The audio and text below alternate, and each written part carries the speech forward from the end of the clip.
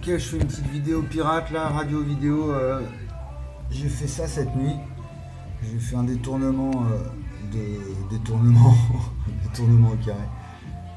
Euh, au départ, c'était TF1, France 2, France 3 qui tuait la, qui fusillait la, vérité. Et là, j'ai remplacé par les GAFAM en fait, qui fusillent la liberté sur Internet.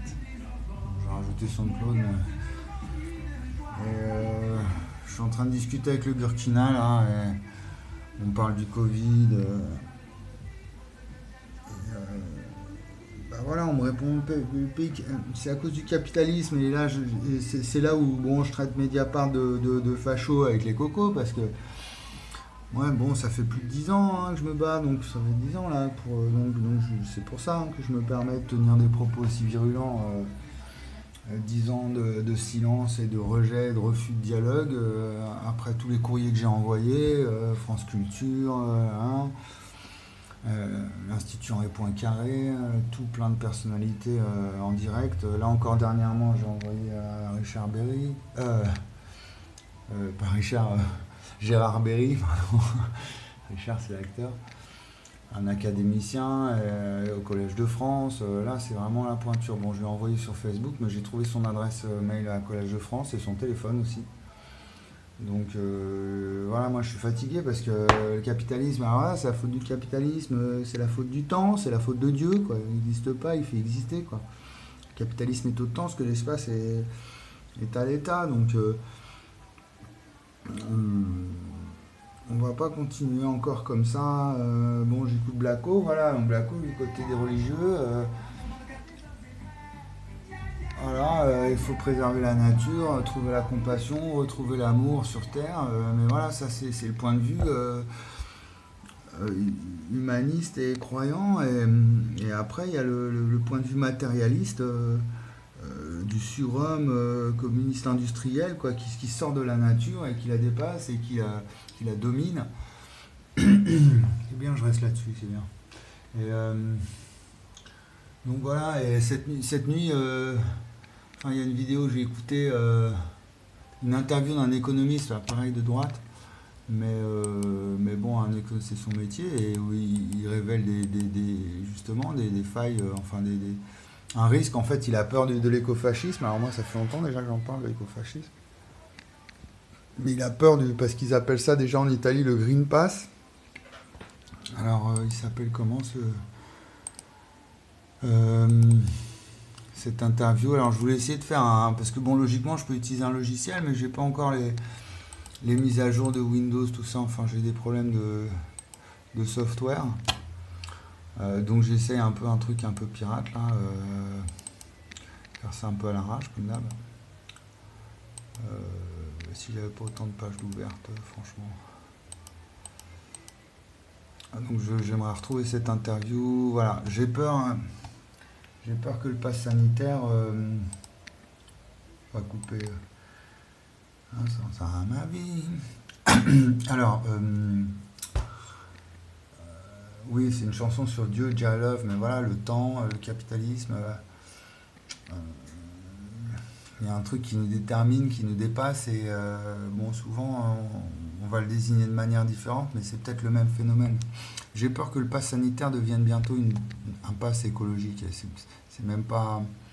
Parce que lui, il est économiste, donc il voit arriver le vent et il voit ce qui, voit ce qui est en train de se configurer au niveau. euh, par rapport à la Chine. Donc signer la fin du moteur thermique, donc c'est prévu pour 2035, c'est faire sauter un verrou technologique au profit de la Chine, qui est passé de 2 millions de véhicules produits en 2000 à 25 millions en 2020, euh, devenant ainsi le producteur d'automobiles euh, au monde. Donc il parle de par exemple un projet de je sais plus combien, 330, 300 centrales à charbon. Euh, ils construisent des barrages, enfin, c'est déjà des centrales nucléaires, c'est prévu pour en Chine. C'est-à-dire qu'on délocalise, on délocalise, on continue d'externaliser. C'est un terme important à comprendre pour comprendre euh, en économie, euh, pour comprendre la problématique écologique et économique de notre époque. Il faut comprendre ce terme-là, l'externalisation, la production. Ah là là, qu'est-ce que j'aimerais creuser tout ça en profondeur, mais je suis tellement esselé, je suis tellement exclu que euh, je peux pas faire ça sérieusement. Qu'est-ce qu'on entend un petit peu? avantage par rapport vont pouvoir déferler euh, en Europe avec des modèles qui seront euh, compétitifs. Donc là, il évoque le problème du marché de l'automobile.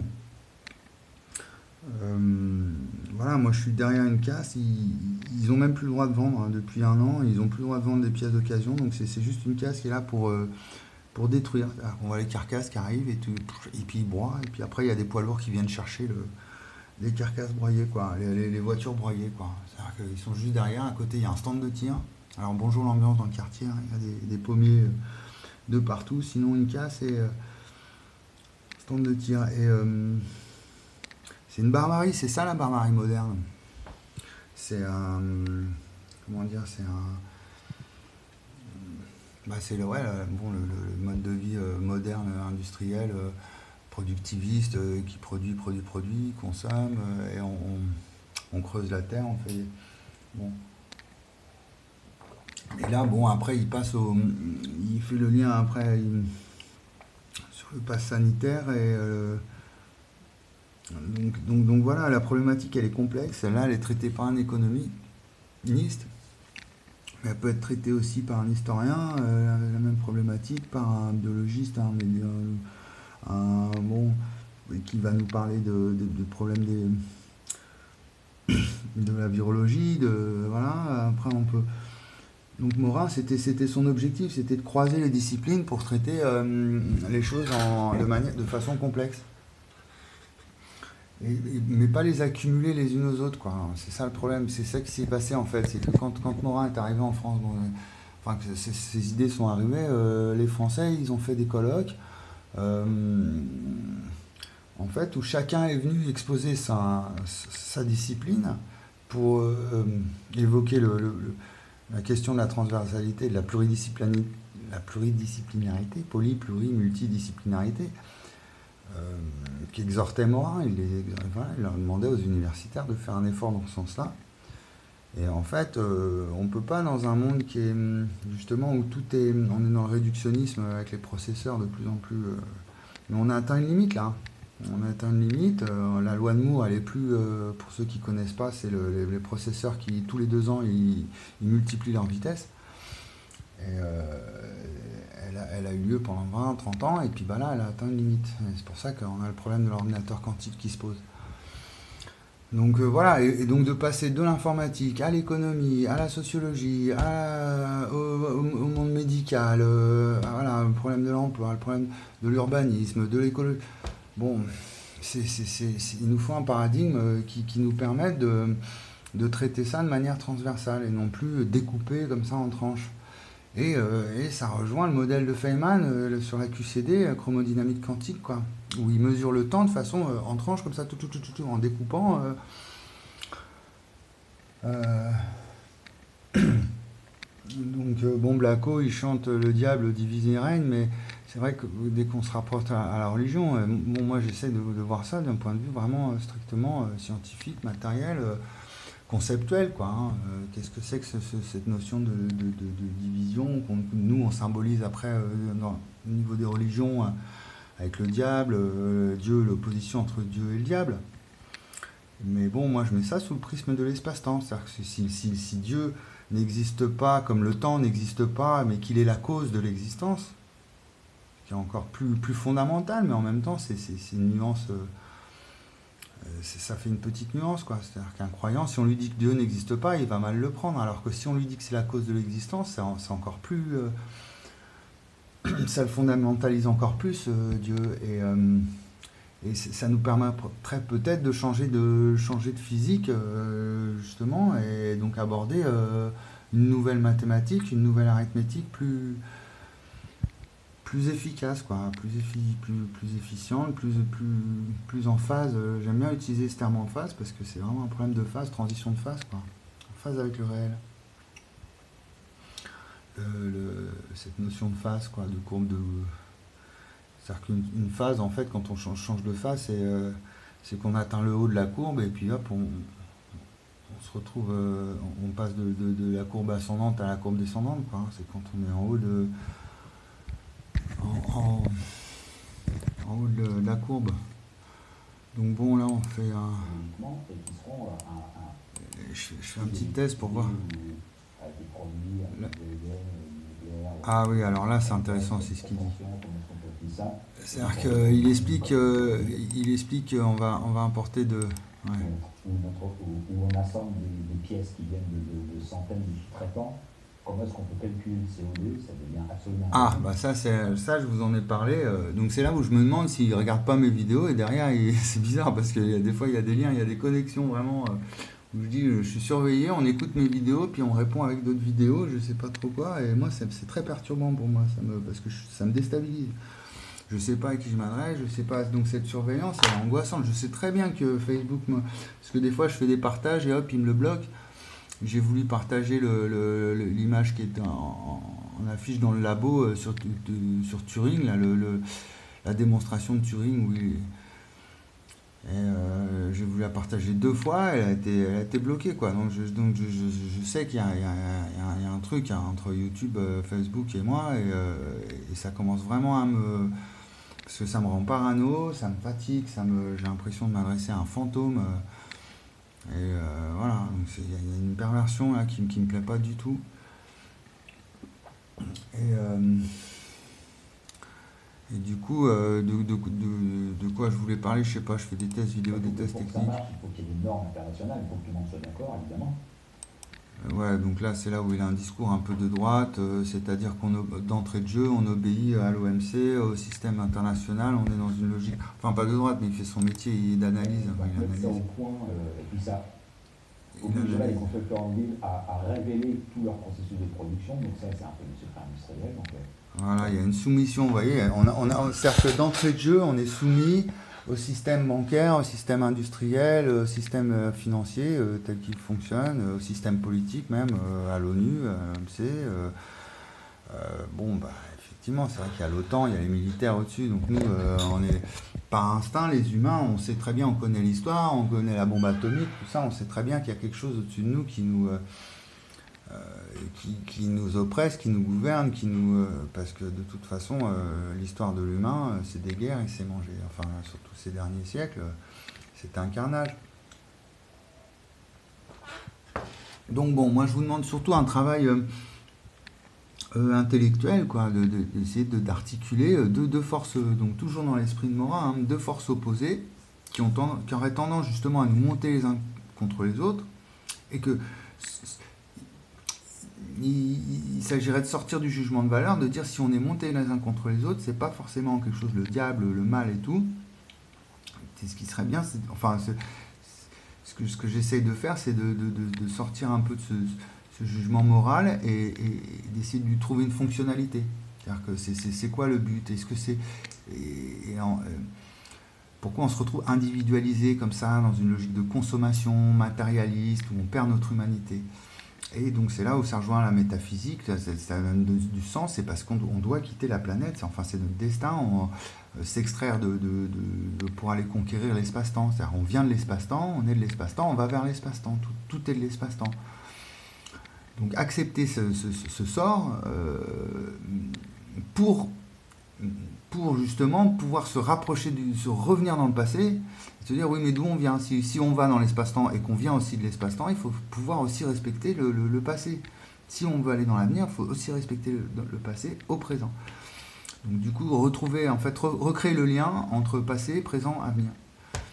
Comme si, euh, voilà, on va dire que l'avenir, c'est les nobles, c'est le roi, c'est ceux qui gouvernent, c'est l'argent, c'est le pouvoir et tout ça. Euh, le passé, bah, c'est le peuple, c'est l'histoire de l'humanité, 99% euh, de cueilleurs-chasseurs. Et puis euh, le présent, bah, c'est un peu les médias, euh, c'est les religions, c'est ceux qui font le lien religare, média, être médiateur. Euh, et puis on essaye de voir les choses un peu différemment. Alors là, on pourra sortir de la pyramide, effectivement, avec une vision un peu comme la philosophie de Schopenhauer, le vouloir vivre, un balancier qui va de droite à gauche, où on, est, on a un désir, une fois qu'il est satisfait, bah, on retombe dans l'ennui. Et lui, il en a fait une philosophie, mais voilà, de dire de, de, voir un peu comme un balancier, euh, une, fonction, une force entre. Euh, et de revoir notre condition politique sous, cet angle-là. Euh, c'est ce que j'essaye de faire pour, pour, pour, sortir de cette politique à la papa complètement lugubre et mafieuse, hein, et, dangereuse et polluante, et qui nous oppresse, qui nous.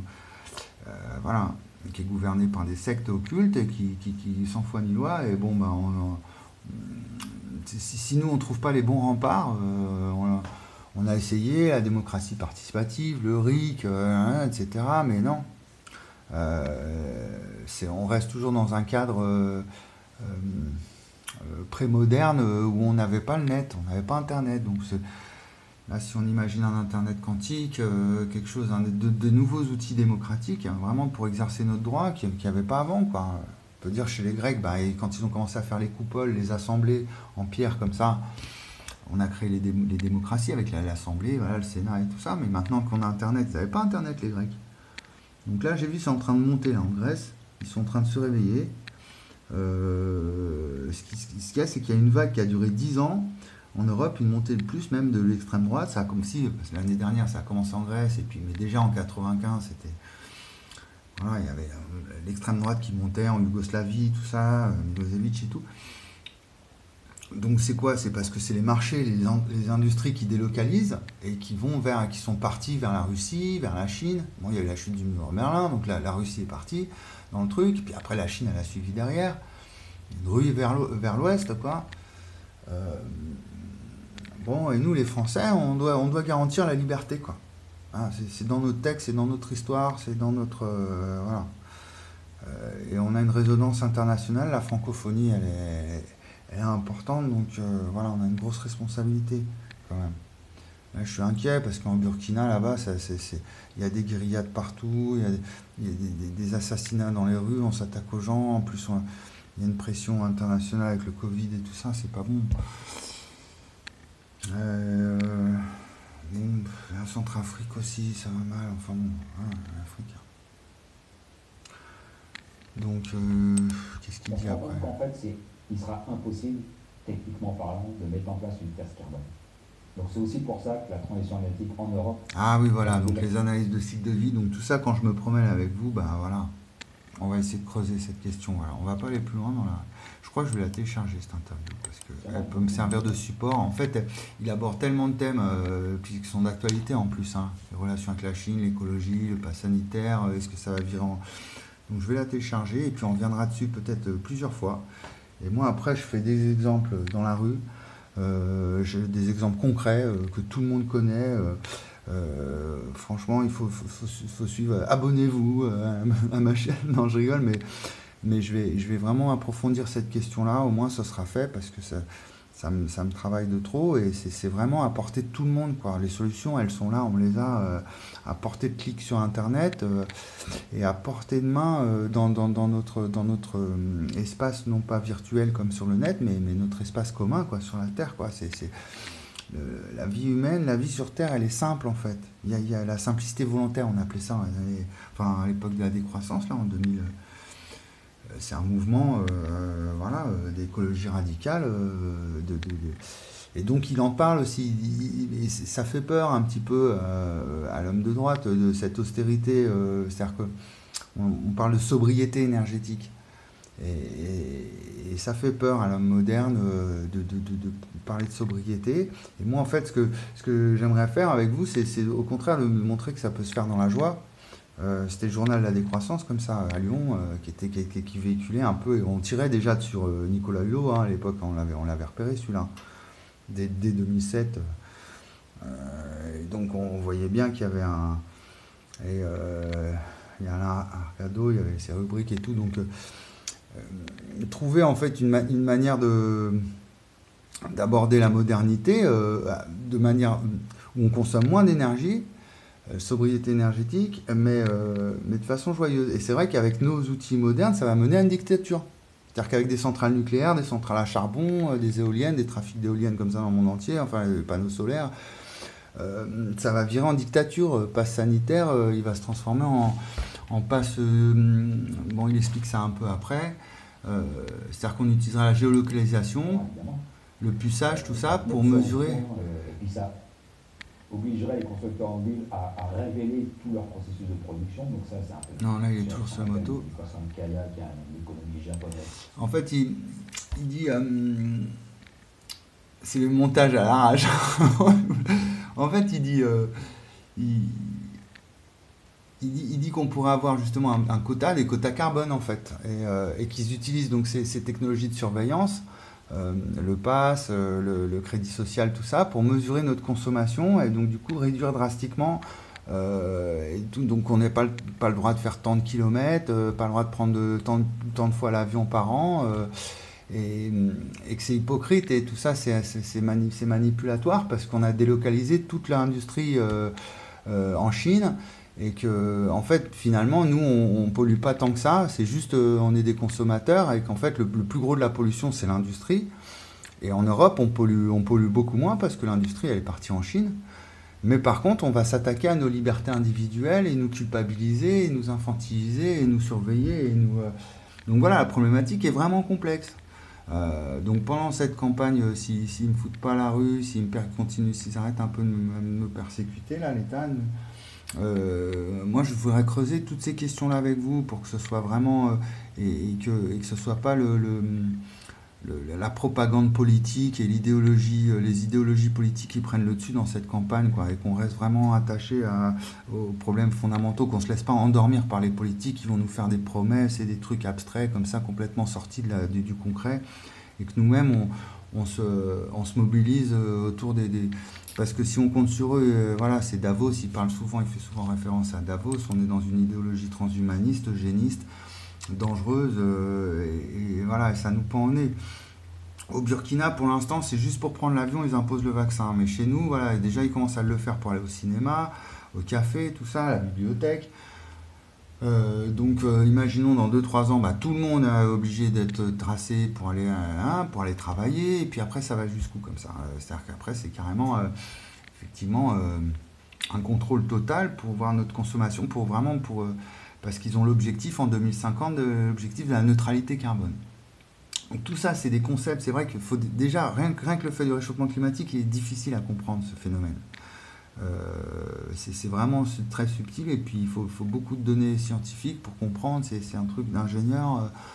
Euh, euh, bon, donc, les gens ils peuvent pas forcément comprendre, mais comme au, final en plus on, crée des, des, aberrations comme je vous ai montré pour les crottes où on se prend une amende de 38 euros si on jette pas la crotte dans la poubelle qui va à l'incinérateur à 50 km plutôt que la laisser dans un petit coin sous un buisson ou quoi ou faire ou même créer des, des composteurs de, locaux. Donc c'est tout ça qui va falloir que je, avec que que je veux creuser avec vous vraiment on a des solutions, mais on n'a pas l'imagination parce qu'on nous, a enlevé hum, la démocratie. C'est-à-dire qu'on nous la démocratie participative,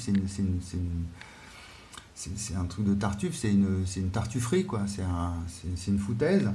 Et comme on, nous a enlevé le, contrôle citoyen, quoi, en fait, hein, on voit bien avec le RIC, les gilets jaunes, comment ils sont traités. Du coup, euh, on, est détourné du problème et on voit déjà on voit, voit plus le problème, on voit plus la solution, on voit plus rien. Enfin, on est dans l'incohérence totale. 23 minutes 19. Euh, voilà, je voulais aussi euh, traiter d'autres vidéos en philo plus poussées, mais je vais, je vais aller faire un petit tour peut-être, parce qu'il fait beau, en profiter un peu avec Kero. Et puis, tiens, ben là, ça c'était. ça, c'est à Super U. Bon, ils le font plus, mais ce qu'ils font, ils le stockent à l'intérieur. C'est-à-dire qu'ils mettaient les fruits les légumes dans les cagettes, dans un broyeur. C'est-à-dire que ça, c'est, du broyat de fruits et de légumes dans des cagettes, le tout broyé, pour pas qu'on récupère. Euh, je crois qu'ils n'ont pas le droit, donc du coup, maintenant, ce qu'ils font, ils stockent, ils stockent à l'intérieur et ils sortent 3, 4, 5 jours après, pour pas qu'on récupère. Mais on récupère quand même, puis des fois ça passe, des fois c'est sous vide. Donc, enfin bon, moi j'y vais plus trop, mais donc euh, voilà, il, faut, s'en tenir à l'essentiel et il faut pas hésiter à mettre les mains dans, la, dans, le cambouis, euh, les mains dans la merde, les mains dans la boue, les pieds dans la boue. Euh, parce que justement, ils veulent pas y aller, les ingénieurs, les politiques, les gens dans leur bureau, parce que c'est sale, ça pue, c'est crade. Et, nous, nous, comme on y va, les punks et les, les anards et les, zadistes et tout, et ben, ils, nous, ils nous traitent de, de, de, rebut de la société, euh, pestilentiel, de gueux, de, enfin voilà, comme des, comme des, des parias. Alors que c'est certainement nous qui avons la solution et pas eux. Ou alors, voilà, ce qu'il ce qui, ce faut avec mon paradigme, c'est c'est trouver un dialogue, euh, une, une, dualité constructive. Et comme ça pour tout, quoi. Pour le, mais, mais voilà, et savoir comment on pourrait trouver une complémentarité. Alors des fois j'utilise le terme faut négocier, mais c'est pas une négociation, c'est un terme, ça c'est un terme de leader, de management. C'est trouver un, un, paradigme, quoi, une nouvelle, nouvelle manière de voir le monde où on pourrait mettre en interaction les zadistes et le gouvernement et, les, voilà euh, les, sans, sans, non plus leur demander d'être de grands amis, mais, mais, mais trouver un, terrain, un, dialogue et un, constructif et avec des solutions concrètes euh, qui, vont, qui vont dans le sens de, de, de, la raison. Parce que, parce que personne n'est contre aller euh, voyager dans les étoiles, mais à quel prix C'est ça? Est-ce qu'il faut sacrifier la, Terre euh, et les humains ou la liberté? Voilà, hein, je vais finir là-dessus. C'est une bonne conclusion, je trouve. Puisqu'il faut vraiment saisir. Euh, euh, voilà, on va finir euh, sur Blacko.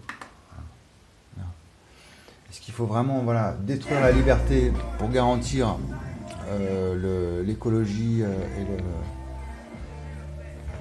Non, il y a peut-être un autre paradigme qui permettrait à la fois de conquérir les étoiles sans détruire le. Et à la fois de préserver le, préserver la planète et l'humain, et en même temps pouvoir, euh, en même temps aller conquérir les étoiles sans qu'il y ait l'un ou l'autre qui doit, qui doit céder. De toute façon, on n'arrive à aucun des deux pour l'instant. Donc euh, voilà. Donc euh, je, continue, je continue à creuser avec vous. Je vais sortir, je vais aller faire une balade et puis on va, on va essayer de on, va essayer de trouver des, solutions ensemble. Et puis bah, tout ça, c'est des maquettes en fait. Hein. si, j'ai plus de moyens, j'ai l'esprit tranquille, il me laisse l'hiver euh, dans le squat, je, pourrais revenir sur tout ça et faire des montages ou des lives avec vous, j'aimerais bien quoi. Avec des, personnes compétentes qu'on puisse discuter ça euh, euh, de façon posée et, intelligente.